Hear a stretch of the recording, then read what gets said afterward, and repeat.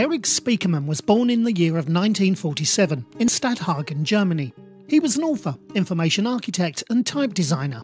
Back in 1988, he started FontShop, a company for production and distribution of electronic fonts, founded with Joan Spiekermann and Neville Brody. They have their own brand font, which is called the Font Font. Erik designed more than 50 typefaces of fonts, and the best known typeface is the FF Meta typeface. FF Meta is a type of sans serif font, where the anatomy shares a common characteristic.